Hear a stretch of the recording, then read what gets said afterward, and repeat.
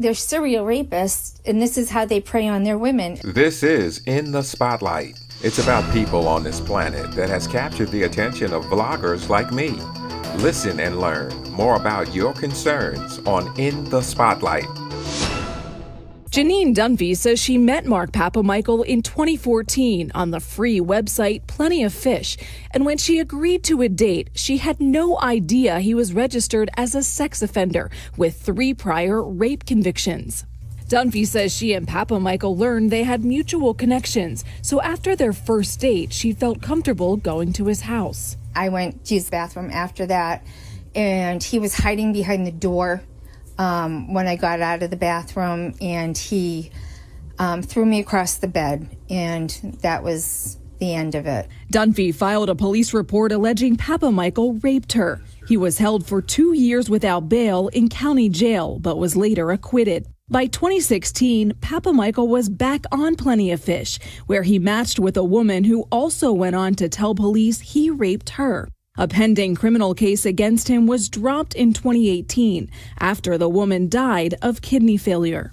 When Dunphy matched with Papamichael, Plenty of Fish was not affiliated with Match Group. Now it's one of several free dating apps owned by the company, which tens of millions of people have used. Match Group has promised to screen against the sex offender registry list for specifically Match.com, but has not extended that to the rest of its apps. Hillary Flynn is with Columbia Journalism Investigations, and in a news story spearheaded by CJI, a Match Group spokesperson is quoted as saying, saying there are definitely registered sex offenders on our free products. In a statement, the company said the article is inaccurate and mischaracterizes Match Group's safety policies.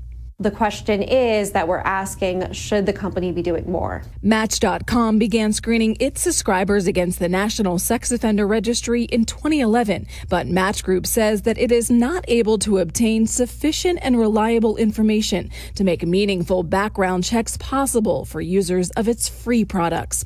Dunphy says that discrepancy needs to change. A simple background check would have saved this whole thing from happening. It was created in a scientific lab, and no one knows what will happen next. Thank you for being a part of Get Ready Productions social media network.